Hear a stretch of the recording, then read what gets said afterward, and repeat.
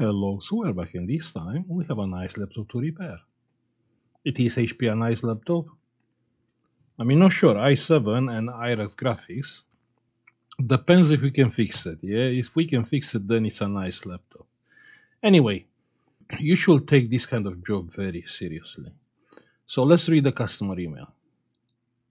The customer is saying water damage. Water was split over the motherboard. 48 hours later, I had the laptop working fine with the battery removed and IEC plugged.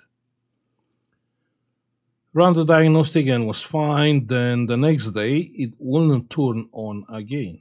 White LED flashes. So the laptop worked for a while, then the laptop died. You have to trust me. On a liquid damage or water damage job, most likely you lose money if you don't handle the dialogue with the customer on the right way. Now let's see what I what I told the customer. Hi, sure, I can have a look, but have in mind, usually when the liquid damage is over the keyboard, the keyboard also is getting faulty. So you are looking for a keyboard and motherboard repairs. Depends on the laptop age, it is possible not worth repairing. If you give me a brand name and model number, I can give you a repair, repair price. Thank you. So by default, you haven't seen the by default. You haven't seen the laptop. By default, you assume you have a faulty keyboard. That's a must. And you will think after so many years of working, I learned these lessons. I didn't. A while ago, I had a MacBook, yeah, so I fixed the MacBook. It was liquid damage, fixed the motherboard, fixed the touchpad, replaced some flex cables. Anyway, was an expensive one. So uh, fixed everything. Yeah, worked a few hours on that MacBook and uh, power on, and the keyboard wasn't working.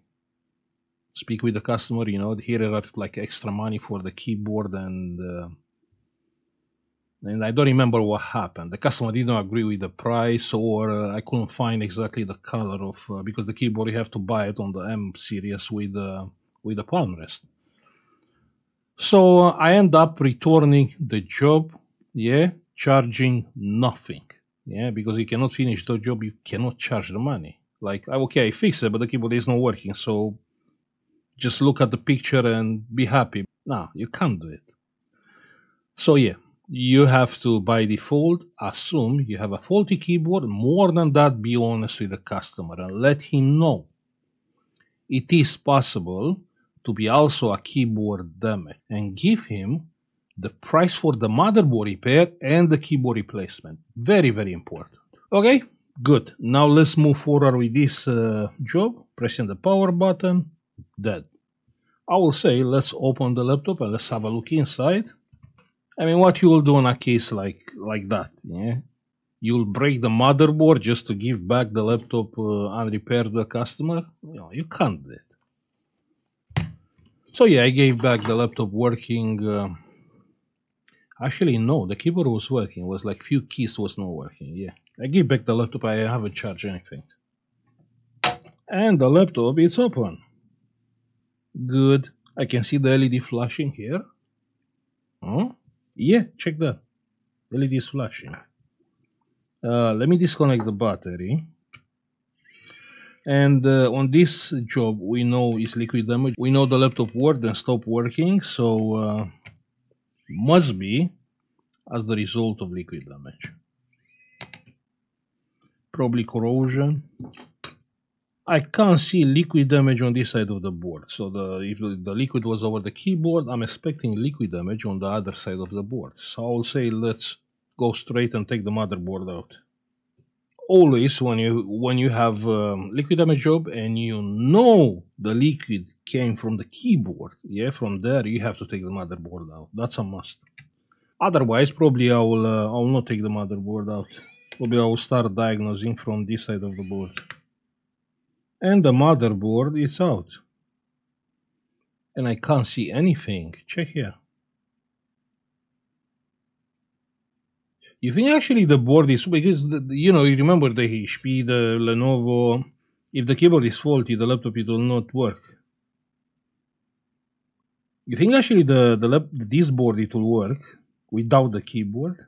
Hmm? Can't see any liquid damage here.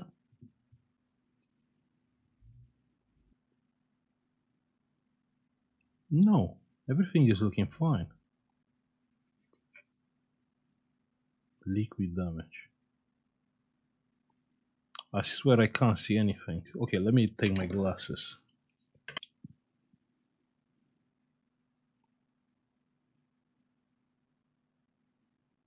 No, nothing. Nothing. Perfectly clean.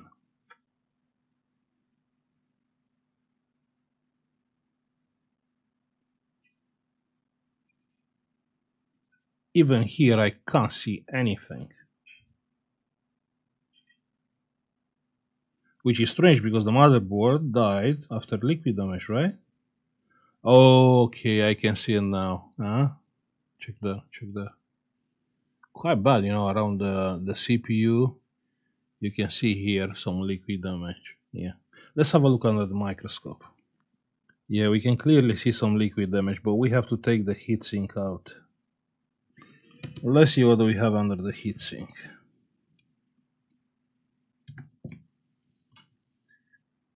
Yeah, we do have a little bit of liquid there, but it's not that bad.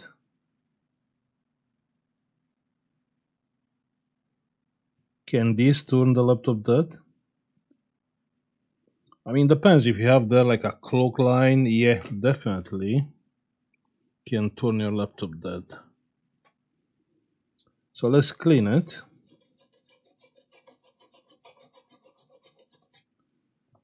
Clean, no problem. Yeah, we can check the whole board under the microscope.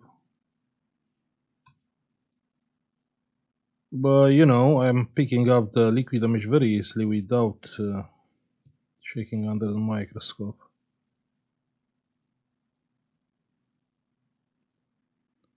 Yeah, nothing. Yeah, all good, all good. RAM memory, everything is clean here. CPU fine. Have the crystals there and it's fine. Other side of the board. Good.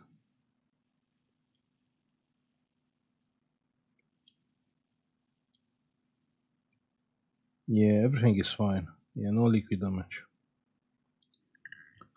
Perfect. So we fix it. I mean, you will be surprised, but usually, just by cleaning, you will fix like 90% of the liquid damage jobs.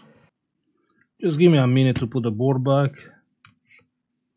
So the motherboard is back in place. Let's plug a charger. We need a blue pin charger. HP blue pin. Yeah. We need 19 volts. 19. Plug in the charger. And it's taking like 30 milliamps. Now it's taking nothing. Great, fantastic. So uh, yeah, we do have the Y light here. We have to press the power button, which is on the keyboard, right? No, the, the power button is not on the keyboard, it's here. Pressing the power button. Okay, so we have the we have the light here. Yeah, picture. Check that. We have picture. Fantastic. Um, let me plug the keyboard and the battery. Let's see what will happen. Firstly, the keyboard. Let's see if the laptop is coming on. Pressing the power button, and the laptop it is coming on. You think actually the keyboard is good? Yeah. Yeah, enter button working fine. Great. Let's plug the battery.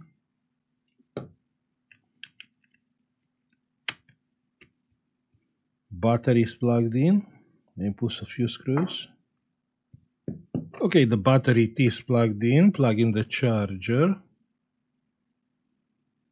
Pre-charge current, pre-charge current and charging current 1.7 amps. So the laptop it is charging fine. Let's press the power button. Pressing the power button, the current is going up. And it's working, yeah. All good, so that was the only problem. Liquid damage there, like, you know, small spot of liquid damage. Yeah, working fine. Let's connect the... Let me shut it down and we can connect the SSD.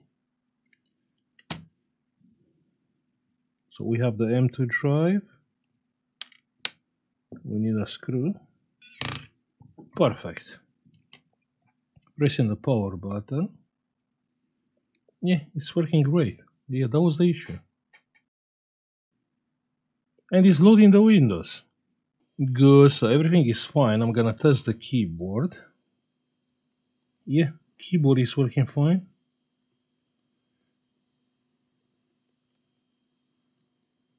Keyboard is working great. Let me shut down the laptop.